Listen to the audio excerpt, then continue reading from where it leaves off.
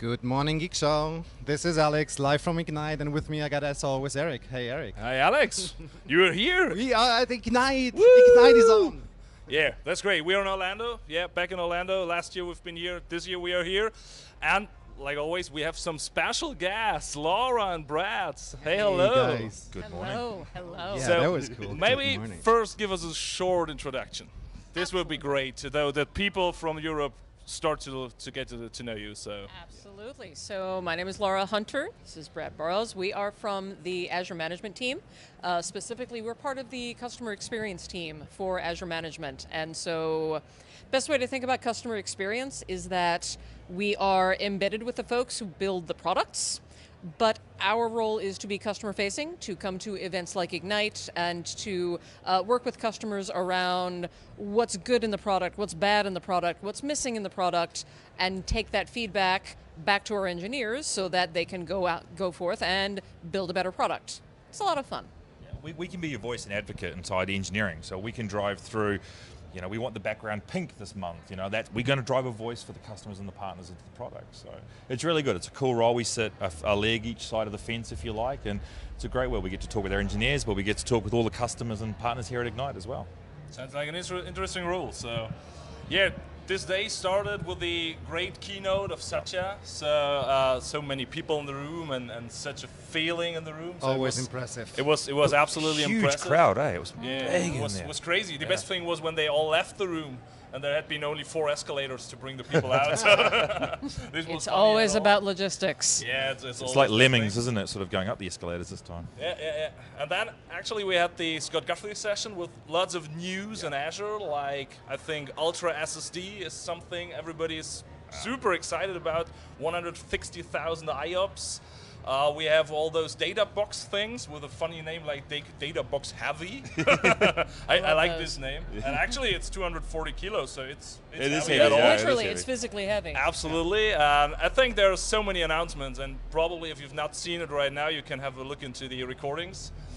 But we have some news in the management stuff. We I do think. indeed. So, probably just let us know first what does Azure Management mean at all? So, w- what does it cover? Uh, what does not cover? So, because people, I think, are just about oh, management is the portal, and that's all. So, Mm-hmm. oh no, we got way we got way more than give the us portal. give us some some insight. So much bigger than that. Oh yeah. So when you so when you think about when you think about Azure, think about the th- and you think about the things that Azure does. You think about compute. You think about network. You think about storage, IoT, machine learning, all the things. Uh, the Azure management team, the Azure management space, is around uh, providing tools and services that allow customers to take the stuff that they have entrusted to us and put in the Azure cloud and to keep them uh, secure and well managed. And so if you think about putting your IaaS VMs, uh, virtual machines in the cloud, well, these are still your VMs. These are still your boxes. You want them to be patched. You want them to be monitored. You want them to be up to date. Uh, Azure Management provides tools around uh, services that allow you to do that. Uh, you want your services to be, you want your Azure resources to be secure. You want them to be protected against, hey, you know, you left that RDP that RDP port open to the internet and didn't stick it no- behind a does. firewall. Ne- never- I've never ever seen it Nobody Never ever seen that does that. Wouldn't it be great if, if there were if there were a service that could you know smack you upside the back of the head and say, fix that. You know that's that's Yeah. one of the services that we offer. Also around another big component is around Azure migration services, and so taking your existing on-prem resources and uh, being able to not just lift and shift them into the cloud, but also be able to uh, provide some intelligence around, hey, you're moving these you're moving these VMs up into the cloud. Let's plunk an agent on them. Let's give it a little bit of analysis to say, you know, maybe these things only need to be a D4 instead of a D8, or you know, maybe we need th- this smaller SKU versus this bigger SKU. Uh, we can start doing some man- some modeling around cost management. If you stick this thing up in the cloud, maybe let's say it's a really high performing system, and you need one of those super IOPS kinds of things Oh, going absolutely. uh, for your storage. Here's roughly what it's going to cost you, and here's how you can maybe model and optimize those costs until we all find the tree upon which you know money is grown. And actually, I, I think this right sizing stuff is something Yeah. people always forget because it's like, okay, we have it on premises, it's running like this, and so we put it in the cloud, and then everybody's complaining about cost, but never ever thought about, okay, we have those 24 gigs of RAM, but we only use four. Absolutely. Uh, on premises, nobody felt it because it was there. Mm-hmm. Yes. And, and now we have to pay for it. and, so it, this right it's a sizing thing is absolutely, interesting. and that is a that is a change of mentality uh, that I think we that I think we as IT professionals need to start uh, driving into our customers, into our enterprises. That uh, cost was not necessarily an IT skill set. It wasn't things that we thought that's about. true. You know, we just spent money. we just we We just just we just spent spent the money. Yeah. More to the point, we spent um, IT made capital expenditures. We bought a big honkin' server every three years, and we knew we were only going to get one chance to do it. Yeah. So we completely overspec it, with the result that most servers sitting in on-prem data centers are running at less than 10% CPU utilization. Well, now Azure. That's a monthly expenditure. That's an operational cost. We can now start talking about let's scale up, let's scale down. it's let's like it's be like paying your water bill, it. so you won't let the, the drain open all the day because you have to pay mm-hmm. for it. So. Right, and we can start doing things like who here has had their kids run their cell phone data plan up o- up, up over a limit, and they get the text from their you know from their cell phone provider. That's monthly in my house. That's that. that's, Yeah, yeah, that's uh, weekly. this is why my in my kids still have no phone. But you know, from an enterprise perspective, we can start doing things like alerting and helping you to be intelligent around. You know, you've got that server that's been up and running, and you've been paying for it for a month, and it really hasn't done any operations. Maybe you want to turn that one down. You know, things like that. That's good. Brett, what, what's what's your daily business look like? So we heard you have contact to the product groups, to the customers, and so. So how, how to imagine that? Is it So, is it a good thing or a bad thing? Oh, it's awesome. No, look, it's the best thing ever where I get to go out and talk with partners. I get to hear where they're trying to do things at scale. So Laura spoke about, you know, we are trying to get the voice of the customer, and with our partners, it's all about building things at scale. So we want to make sure that partners can actually have the tool sets, the products, so they can do a one to many, one to a thousand, one to a hundred thousand type of model. So my day encompasses talking to partners, understanding what their needs and wants are, and then trying to be an advocate inside the, the product groups. You know, we've got to bring we we rely on data. So you can't, we can't walk in and say, I feel today that I want to have this done. Hey, boss's boss, let's make that happen. We've got to present the data and the argument to be able to drive that through. And the most rewarding thing is actually when you see the ask of the partner, and a few months later that thing gets built, and we can walk back and say, hey, that thing that you needed from us, that was a blocker. We've just delivered it. Go forth and conquer, you know? And that's the, that's the rewarding part of the job. Yeah, I mean that's uh, super important. Let's let's maybe come to the announcements that, Yeah. that were dropped at Mm. Ignite. Can you maybe tell us a little bit what, what you what you guys announced? Blueprint. Blueprint. So, Blueprints. Go blueprints. for it. Yes. Blueprint has Blueprints are been amazing. hot today. So I've, I've met with partners all morning. I got pulled into various things, and for those of you who don't know, we just announced Azure Blueprint. Um, this probably is one of the most powerful tools for a lot of our customers, our partners, to be able to go out there and use at the moment. Think of the ability to standardize what your environment is, to be able to configure an environment with uh, reliability and the configuration, but beyond that, you can go out and pull in the governance, security, the policies. You can go call ARM templates. You know, you can package all this up. Uh, for partners in my space, especially, they're going. MSPs are like loving this concept. You know. Oh, yeah? Sta- yeah. Well, for you guys, like you can have gold, silver, bronze. You can have blueprints that actually standardize across multiple customers and partners. So that has been like the one thing I've been almost losing my voice over all morning. Just everyone's loving the blueprint side. Um, for you, what have you found? Uh, so a- absolutely blueprints. Uh, I think the the announcement that uh, Scott made this morning around uh, Azure Data Explorer, which Yeah. is uh, there has been this uh, internal to Microsoft thing called Kusto that we've been using for what is it two three two, or- Yeah. two or three years now, and it is this amazing data lake service that can, that allows you to reach into your Azure assets, into your Office 365 assets, into basically all of your all of your Microsoft hosted assets, and be able to pull very extremely rich data and rich telemetry around how is that VM functioning. Uh, how many emails am I, pro- am, am I am I processing on a day on a daily, weekly, hourly basis? Um, and it's this amazingly it's this amazingly rich service that uh, has up until now very much been within the Microsoft fold. And I don't know about you, but a lot of times I will I, I would be going to a customer and they would ask me a question, Laura, how can I get this data that I need to be able to Oh, run oh, my yes. business? And I would go, well, that's simple. You just query Kusto and then you, oh, wait, Damn. There something. turn it. Yes, I, I, actually today you fill the gap. So mm-hmm. because we had so many cool things, we had the ARM templates, Yep. Mm-hmm. we had role-based access control, we had Azure policies, we had, but it was always piece for piece for piece, and mm-hmm. everybody who was managing more than one environment, Yeah. it was like, okay, that's nice, but h- how to deal with it? How do you build a Um, scale, right? Yeah, and actually, so for me, I'm working for an MSP. We are ex- Azure Expert MSP. So Yeah. For us, it's like, okay, probably we have 5,000 customers next month, and, and we have to roll out some new stuff. So how to do it in a good way, and how to give it to our customers, and to say to them, okay, you have to do this with, with ARM, and this with PowerShell, and this with CLI, and Yeah. and this thing you have to do in the portal because right now we don't have a good way to do it automatically. Uh, right now, it's just like having a blueprint. Fire it up, and if everything is set up, you have the data insights to, to figure out what's. It's it's it's awesome. And I see our customers asking for other blueprints that we made for uh, other customers, and, and we can bring this into the project, and it will give us a lot of speed. That's a that's a then. common question. So how, how do others do this in the Yeah. market? Or you, you hear this? Do quite you have often? best practices? Yeah, we, I get asked that a lot Funny from you these mentioned best MSPs. practices. Yeah, like GDPR for you guys over in Europe at the It's moment. Oh no no, that's not a not a topic in. no, no.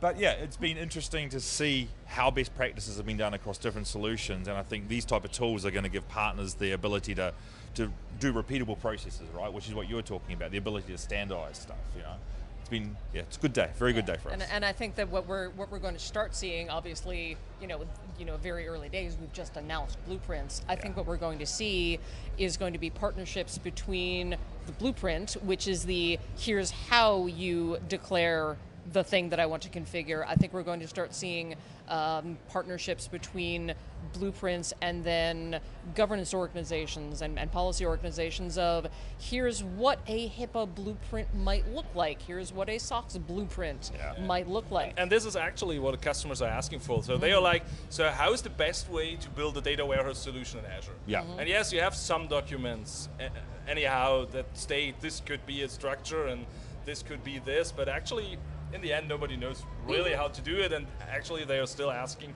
What's the best way, and how, what's the best way to implement Yes. it in the Correct. end, and, and to govern it? Because right now, as we all know, Azure is moving fast. So mm-hmm. what we Oh, think yeah. is the best practice today could be old stuff in two weeks. So You, you've got an organization who's got 600 line of business apps, and now Windows 10 ships every four months. Yeah, you're how, right. how, how do you recertify? Welcome to the Windows Insider program, where you can get an early view at these bits so that you don't have to be rushing around like your hair's on fire. that's, that's a good thing. And one other thing on the blueprints, I, I don't know if it was really hammered home this morning, is that for the developers, if you swim upstream and you're actually a developer with our products, you can actually call the blueprint as part of your code when you're actually building your application. So developers early on can actually have it, they can deploy to a test environment or, you know, and then suddenly they've got standardization of configuration and everything. So you can actually start to embed that really early in the, in the cycle of the app so that you get that standardization, you get that, it's all natively built in. So if you start looking at cloud-based apps, suddenly they can call or the ARM environment or the IT department can provide them a standard blueprint which says, hey, here's a DevOps blueprint. You guys use this, you don't build your own VMs anymore. So that's some cool stuff as well that I think we're going to see developers starting to lead onto. soon. It's, it's absolutely letting our letting our developers take Yeah. manageability and security, and rather than having those be just bolt on after the fact, and does anything work well when you bolt it on after the fact? No, of course not. It allows us to take the, to take those um, take those artifacts and shift them left, Yeah. Yeah. so that then security and manageability simply become part of your CI/CD pipeline. I think this is one of the important things. So Alex is from the security space of the world. So actually, he's such a security guy. Yeah, I Al- saw his t-shirt with all the binary on yeah, there. yeah, It's just a bit. Sorry. so actually, he's, he's complaining always about security, and and right now it's like developers are just like I have to push out my stuff, Correct. Yes. and security is here's some kind that's there. They're pushing back, right? A little they're bit pushing sometimes. back, yeah, Yeah, actually, I, I saw this in our internal development group, and they were asking me like, "Okay, yeah, we've built some great stuff now, but uh, can, can you probably have a look?" So uh, Yeah. we're not sure right now. And actually, what, what do you think, Alex? Is this something what developers and, and people from the security staff will accept as a, as a way to, to bring security into practice? Yeah, I definitely think that uh, because yeah, like you said, I mean, the development is getting quicker and quicker, and for us as the security guys, we have to secure all that. And I mean, it's it's so great that Microsoft gives us, us a way to like track everything that was uh, was developed, and, and, and then we can see okay, how can we fix it, and how can we bring it to a security level that we are confident with, Yeah, right? exactly. Yep, and you can think of you can think of the evolution of that then being how we start integrating Blueprint with something like desired state configuration. Yeah. Yeah. Where we where we're at this point we're we're just handling the end to end. We are providing we're providing the security team a way to say here is my intent, here is my security intent for my enterprise, but without needing to stand in the way of the developer who wants to go fast, who needs to go fast, who wants to have all of that agility of the cloud, True. which is why we adopted the cloud to begin with. Yeah, Yeah. exactly. Yeah. So one one part of the of the full Azure management stuff is also the Azure policy part. So we have it right some time now. Yep. Uh, but it's growing and growing and growing. I don't know. We have hundred or more integrated policies right now, uh, out of the box policies. Yes. The ability to bring in own policies, and actually, many people don't know that they, for example, can enforce naming policies. I was always. Also, he, he was laughing at me when I kicked off the first conference with a session about naming con- uh, naming conventions in Azure, and everybody was like, "Wait, naming is naming is you, you've got a name in Azure, so You have a nobody name. Why do you nobody takes name? care It's of It's a it." name. What? Have Um, one. And then actually they, they had a look into their to their bill or into their mm-hmm. resource list or they tried to automate things and then it started to get complicated and, mm-hmm. and the best thing I've ever seen was when it comes to tags, tagging for cost management. Yeah, yeah. Mm-hmm. And then somebody told its department, somebody t- uh, used debt, somebody used the German word Abteilung, and then they tried to figure out where to bring the customer. So and it was like, okay, so this is why you need some naming This conventions. is why you need naming conventions. This is why you need Um, tags. and, and we have all this policy stuff. So, uh, what do you think? What, what was the, or is right now the, the blocker for people to use policies? Because actually, I have so many customers not knowing about it and not Mm-hmm. using it right now. What do you think, or what you know, is a blocker, and what do you hope to see in the future uh, at people? So, I, so I think um, part of the part of the challenge, which hopefully we've resolved this week, uh, was sim- was simply an awareness. Okay. Uh, po- uh, policy as a service has actually been generally available uh, since May. It Yeah. is it is ba- it is baked into the service. It is bolted into the service. By the way, did I mention it's free? You just get it. Just You use it. You, you ju- you just get it and you just use it.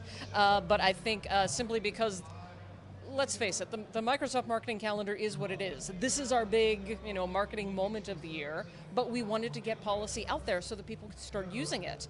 Uh, and so I think maybe there was a lack of an awareness. Uh, there's also uh, there's also just some uh, some other bits that uh, that we announced this week around management groups, which is going to be giving you that something that I think enterprises have been clamoring for, which is the ability to apply things like policy at a level higher than the subscription. And, and for an That- that's a great organization that has a ton of subscriptions, I think that that's uh, that's really going to be a key enabler uh, for policy. Uh, and at least at, at least in uh, in the United States, uh, anytime we deploy a, a new service into Azure. I can I can wait about five and a half seconds before the first the first conversation of is it available in our in our specialized clouds in our government clouds things like that. Yeah, uh, yeah, that, that's that's uh, a thing which always comes up, and uh, I, was one of the last conferences I was. I, I, I made a sentence, and, and everybody in the room was quiet after this because I said, "In Azure, nobody cries for you." I'm stealing just, that. Just let it sit. I'm stealing that.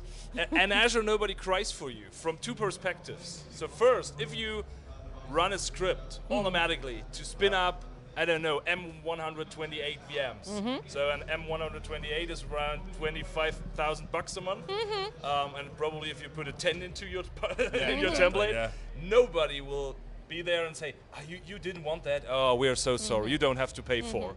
This is the first thing. The second thing is if you delete something and you forget to have a backup before, or you have to have a template or a blueprint of it, Exactly. it's yeah. gone. And I've seen customers People removing that, yeah. removing uh, subscriptions but not just deactivating the subscription so that they have, could have a way Mm. Right. Mm-hmm. back. So they're just like removing all the resource groups and then figuring out it was the wrong one. Well, I now have fantastic news for you, which is that Azure Management Yes. cries for you.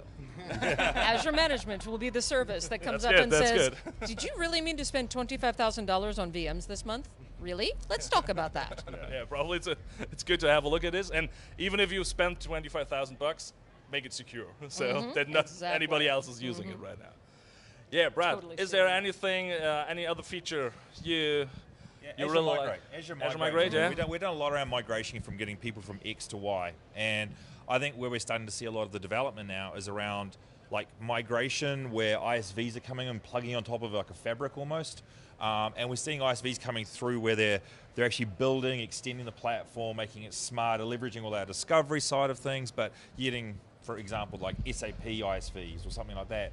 So we're starting to see, I think, the migration side of it really kick off at this point in time, and people are going. It's not just a box Microsoft product anymore. It's actually something we can extend and build, and there's an added value service for ISVs. So we've seen that starting to kick off a little bit now. We're starting to see some announcements coming out. So I like, I'm, I'm liking the migration stuff as well. So actually, I, I don't want to be mean, but Oh, Azure no. Migrate had, had this one little problem: the lack of support for Hyper-V.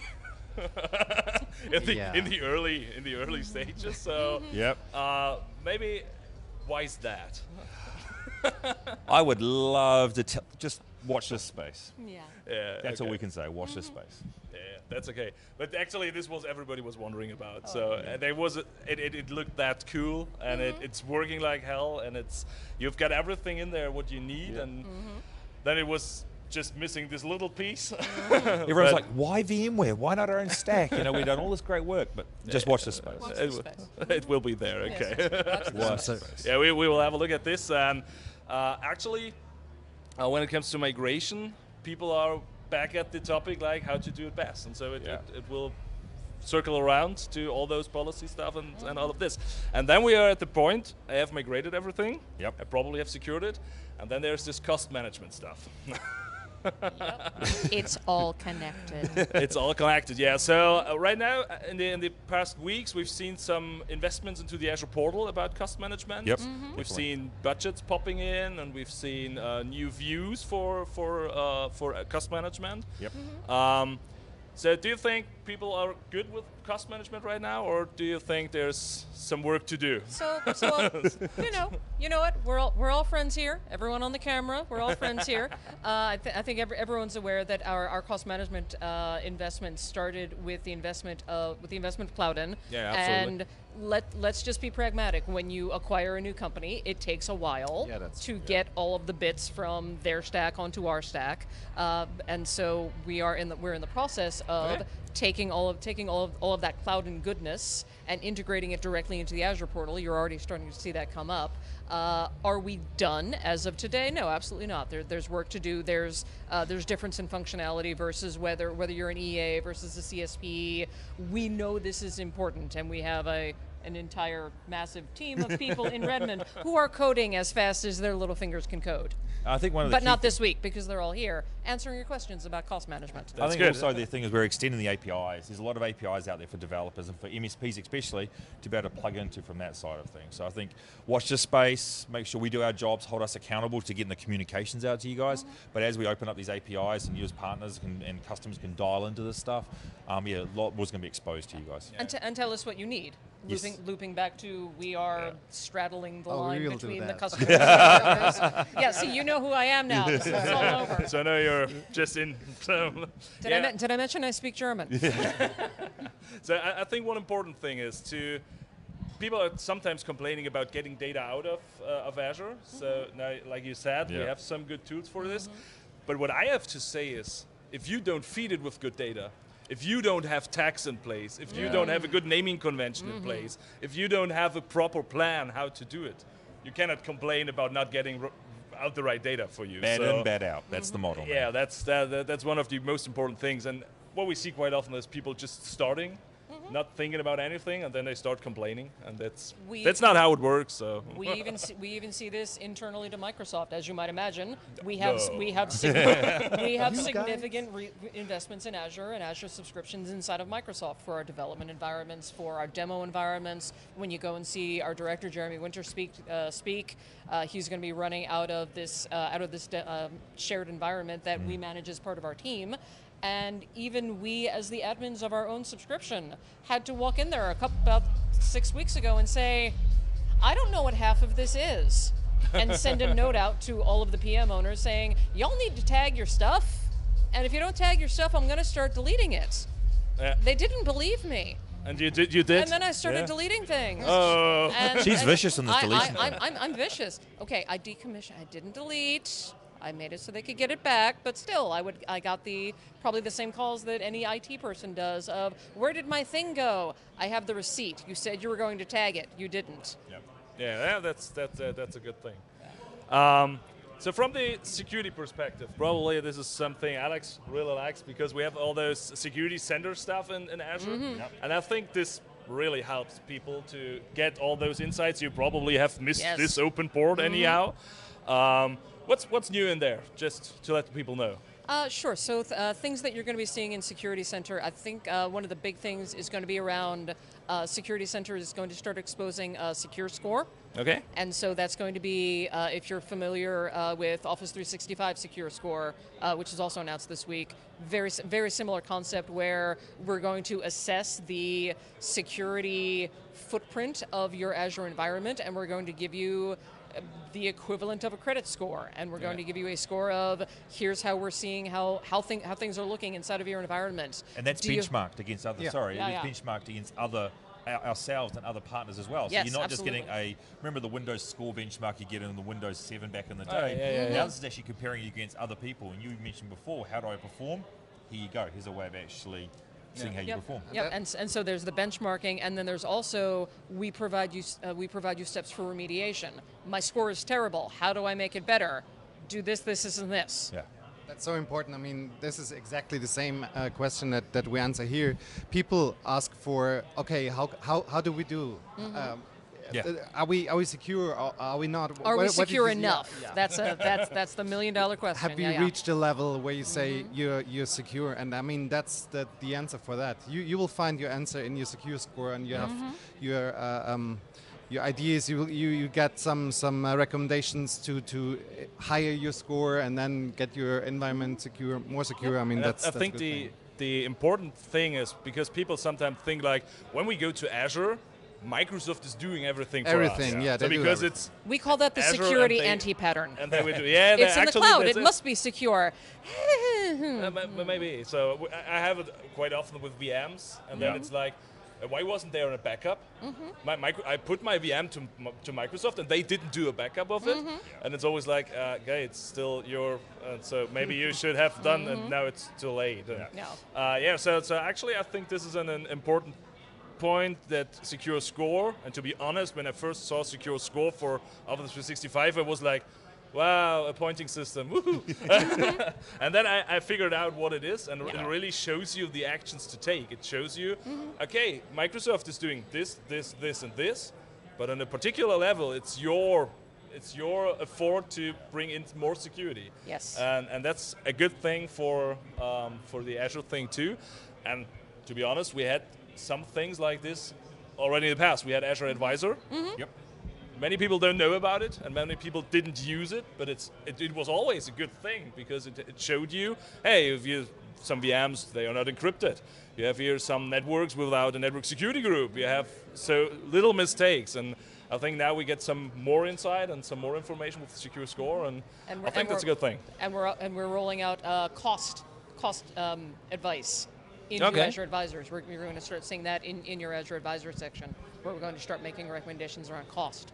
Yeah, Secure Score is something that works works pretty good in uh, Windows Defender ATP. We, we got that in, in, the- in the very first uh, feature releases, where you can see all the security features in there, and, and then people ask, okay, what is this exploit guard feature, and, and, and how much impact has it to our Secure Score? And I'm, uh, that works perfectly, and uh, I'm, I'm pretty sure that it will be the same for Azure. So yeah. Yeah. I I have a security question for our security person over there. Do you use our security graph at all? Do you plug in and give it a go? Because we, we, we talk about it a lot. Interested from your side, are you guys using it? Uh, well, I think, um, yeah, there are customers that, that, that are curious what it is and, and, and how they can use it, but I haven't seen so many customers that have it in productive use and get things out of it. How do you do, think? What do you think? Okay, uh, to be honest, not really.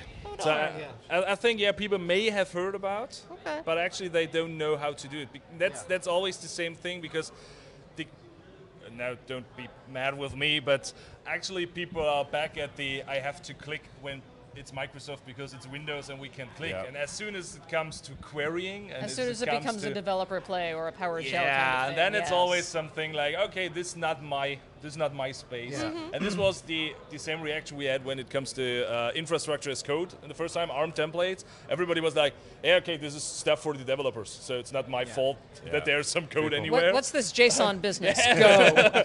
Yeah, and then the developers were like, uh, this is about infrastructure, so it's your fault. Yeah, that's that's exactly what I mean. We do the workshops with them and show them how to deal with that, but then after the workshop, it, it just stops. They, they don't go ahead and, and continue just like when the consultant is back in. Maybe we can have another look into that, but they don't Yeah, do that I, on I, their th- own. I think where, where Security Graph is going to start showing some real value to your previous point around partners around, and around ISVs Yeah. are going to be when we see partners, and we're already seeing it. Like we already have part, uh, partnerships with uh, other other ISVs who are taking uh, Security Graph. For those of you who aren't familiar with Security Graph, it's basically uh, it's a uh, it's a programmatic API that allows you to query the Microsoft Security Data Lake to give you information about. Tell me every security thing you know about Laura. Tell me about some sus- some suspect logins that she's had, or some uh, some malicious attachments uh, that have come into her inbox. And so, uh, what we're seeing are uh, security partners who are taking their existing security products and their their existing security solutions and enriching their existing solutions and their existing data sets with this Microsoft Security Graph data. And I think that that's where we're really going to start seeing like the value even, even, and the even power. basic of Power BI Graph. dashboards, you know, exposing what's going on in an organization, you know, compliance, um, you know, like Laura said, you know, did Laura log on in Hong Kong and then Australia in five hours? Oh, let's flag that thing, you know, all that sort of exposure being able to pull that up. So that's how we're starting to see a little bit more as well. But yeah, we need to, good good feedback. good feedback. And, some, and Yeah, if sometimes I think it's these are the little things because what I see quite often, for example, is when they start doing infrastructure as code, Yeah. they push out their deployments, and there's an error in there, and they do it again and again and Yeah. again and again and again, and never figure out why it's not working like expected. Correct. Uh, and things like this to figure out better what happened and maybe it was just a mistake because it had some some issue in my code but on the other hand side probably somebody tries to break my policies so Correct. it's always a good thing to have a look into it because it's, it's good to have tools to control and it's good to have tools that lock but if never ever somebody looks into it it doesn't help at, You've got to be able to report it and correct it, right? You know, once you find it, you got to know what the problem is and then how to actually correct it and then remediate it down the track. Yeah, yeah, that's a good, that's a good and uh, an important thing. Um, so actually, there's one other thing which is pretty important for me, Okay. and it's Uh-oh. I think not not everybody has heard of it. So it's the Azure Graph thing. Resource graph. Resource Graph. Ah, sorry, sorry, yes. sorry. Thi- So I, I didn't heard of it. Could you explain what, what this is? Look, it's, it's another exposing of an, an API to our resources environment, which allows you to query through uh, like the likes of Bash, and you can export out. You can do a query of how many VMs do we have doing this, and then you can export that out, and it'll give you as a JSON file, right? So suddenly you can actually, once you get a hold of that graph and that data, then you can start manipulating, you can start querying it, but then you can take that out, export that out as reusable code. Um, and it's in a simple query languages, you know, from that side of things. So stuff like, again, we're exposing our APIs, we're making it easier for people to get into the systems, um, third-party systems, open source systems, be able to get in and query what's going on inside the environment from that side of things. So rather than going through the GUI, some people like the command line still, so it opens up from that side of things. And I hate to say it, but if you've got more than what 2,000 VMs in your subscription. Yeah. Have fun opening the portal. Yeah, exactly. Good luck with that. Yeah, and, and, and extensiating that, and then finding out who's doing what with this particular VM, and then getting that out. But the cool thing that, and we, and it was quite funny. We were at an event yesterday where we were talking about this, and we, we had people fist pumping in the room that had been waiting for this ability to to get a JSON file out from the other side. Yeah. So this is cool. This is again, this is listening to what our, our customers and partners need, providing them the tools to do things at scale from their side of things. Yeah, and actually, when you say more than 2,000 VMs, these are the questions like, okay, do we have VMs without managed disk? Exactly. When you start querying this or just start figuring this out in the portal, it's not that comfortable at all. so I you see the little circle. Yeah, so, sometimes just We'll wait. four seconds, Yeah. Mm-hmm. minutes or so. But actually, I think the resource graph. And I got it right. Yeah. Yes, you did. Uh, okay, perfect. Uh, I think it's a good a good thing, and, and it looked pretty pretty fast. Yes. Over Oh, thousands of resources and- Absolutely. So I think yeah, actually, this is what it comes to. So when somebody runs two, five, ten thousand VMs, actually he hopefully doesn't do anything in the portal or tries to do it in the portal. So actually, hopefully deploys VMs through templates, and he's using. you, you know, Yeah, know you other sh- customers. So Totally The sure. security person is laughing now. Yeah.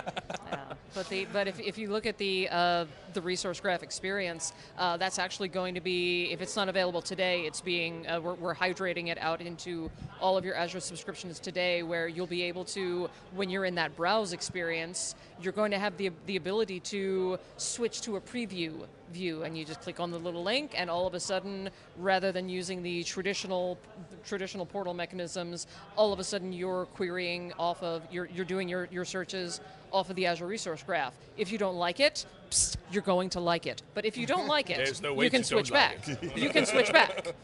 okay, yeah. So actually, there's one magic question Okay. in our podcast. Even, the, so even the question is magically. the- the- okay. the question Every is question magically. is magical. So and now today we have two answers to it, and you are not allowed to give the same answer. Okay, so we're going to Okay. pick one each. so yeah, probably I give you a second to, Okay. to chat okay. who's answering okay. what. Okay. So if you have a magic wish Mm-hmm. In the Azure management space, it can be customer related, it can be product related, it can be I don't know, Mars related, whatever. Mm-hmm. Um, what would your magic wish actually be? I'm going to let you go first because I'm thinking on this. Okay. if I if I had a if I had a magic wish, I would love to figure out that magic bullet, that silver bullet, that perfect right answer to be able to provide customers with the information that they need when they're looking for it. Because we have the doc site and, and okay. the and the, doc- and the doc site is and the doc site is amazing and the work we've done to transition from TechNet to Docs has been amazing. But as you as you said yourself, we have customers who we give them all this information, we give them all these capabilities. Yes, but how do I do it? What's the right way Yeah. to do migration? What's the right way right. to do this other thing? Probably need the 100 gigabits express route directly to the brain. So mm-hmm, maybe mm-hmm. this is a good thing. Exactly. we need Laura as a service. Pu- Laura as oh Laura publish- as a publish to the You've internet. got Siri, you've got Cortana, you now have Laura as a service. There we you go. Okay, is it a user subscription? This is a money making endeavor now. okay, we, we'll do this later. Uh, um, what's your magic wish, though? I'm going to get more tactical. Your one was really good. I got to top that one. No, I can't. Um, look, I think for me, and I'm going on what I've heard recently, we tell we tell customers and partners to move from X to Y, from on-premise up into the cloud, and you know we, we're giving them all these tools to be able to do this. We can do these elements, but we always get blocked with apps. Okay. everything is an app, right? You know, whether it's a, a Delphi or VB6 to something brand new. So I'd love for us to have a really simplistic way to remove that blocker for our, our customers, right? Because we've got all this cool stuff up there now that they can leverage. But when we go talk to them, it's like, oh yeah, but I got this accounting system that runs on DOS 6.22 still. And you're like, yeah, but if we could take that up and get that up into the cloud, then all of your stuff could be up there. Then all of the things like security graph, we could start doing things around it. So I'd love a way to have a frictionless approach to actually getting a lot of our apps up into the cloud. And, and that's not a blocker anymore. We've got some tools, we've got ISVs starting to plug it in, but get that up there now, that would en- embrace the cloud a lot more for me. Okay. Yeah, that's uh, awesome. Awesome wishes. We are actually. impressed. A little want now. yeah, no. Mm, Fingers crossed. we, we, we will handle this. So, yeah, actually, my magical wish for Azure management would be um, that people know about it. Mm-hmm. So awareness, awareness, and probably some kind of awareness, and that they I'm start. hearing awareness. Yeah. Yeah, but maybe a bit, yeah, and that they start thinking about it and that they start doing something, because from a consulting perspective, it's good if people never thought about it before, because the projects to clean up everything are okay for me. You've got a job for a while. I've got I've got a job Yeah. for a while, yeah, that's okay. But for customer success and for having time to do cooler stuff, and and right now, to be honest, is it cool to patch a server mm-hmm. and in the end of the week say, hey kids, I've patched two servers this week? Or is it cooler to say, okay, I figured out all the insecure servers in my environment and we made it secure, and at the same time we built some, I don't know, what the awesome stuff. I think this is what it has to come to. I take second, yeah. You want the secure that, thing? yeah. yeah absolutely. Everything he just said for security. I'm good as well. that. Okay, so it was an absolutely pleasure to have you here. Yeah, that's so true. probably we'll see you next year again, and then you will provide us with even more cool Even stuff. more awesome news. and then Azure Management is crying for us all. Azure Management is cr- Azure Management cares about your cost overruns. Okay, that's- we that's want good. to help you fix them. And Laura as a service will Laura be as a announced. service And Laura as a service. person. We're gonna have, that's the goal. We're going to have Satya announce Laura as a service. There you go. That's our goal for I, next I year. think yeah, that's a good thing. So I you can love it. decide if it's more for Inspire or for Ignite, but I think there will be mm, There a point go, in time. There so we go. okay, so thank you very much. Thank you. Thanks a uh, lot. for Thanks, being our guys. guests, and thank you for you to listening to us. And Thank you. We have some more things this week. So on Wednesday we have another recording uh, in in the security. Yeah, we can announce that. Yeah, we'll have uh, Heike Ritter from the Windows Defender ATP team with us. So we are really happy to, uh, looking forward. And then on Thursday, Thursday morning, it's not a good time for Ooh, me, that's but an early one. yeah, it's an early one. So, but it's okay. We have another recording with Yeah, we'll have um, Paula and uh, another guest. And another is guest, yeah. Not uh, announced yet. So stay tuned this week. We will have some awesome sessions and also watch the live streams of all the sessions from Azure Management, Yep. from us both. That's also okay. And yeah, thank you once again. Thanks and again. See you next Thank time. you. Thanks, guys. bye bye.